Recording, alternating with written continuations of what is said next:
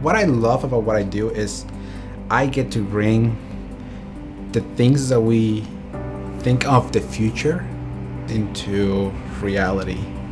And it will not be, it is not, sometimes it's not a product itself, but it's a system, it's software, it's applications that we use on a daily basis. And that's what I enjoy, is bringing that tomorrow into present. When you go to a website and you notice something like those little interactions, when you click on an element or the way it brings information to you and you're like, huh, that's neat. That's my work. It's researching what makes people happy with their web experience and how can we accomplish tasks faster for them on the web and on any kind of application or device.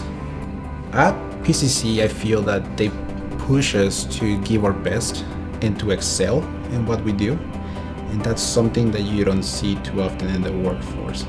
It takes experience to build it. And I think at PCC, having that that mentality since the moment that you start, that everything that you do has to be on such an excellent level, it helps you immediately as soon as you get in the workforce. I've been able to work with people that are Ivy League graduates, and I feel competitive. Our work has been along the same line, the same quality of work, the same uh, quality of response that they're expecting. They raise the bar at PCC so high for us to provide quality material that helps you once you're out there.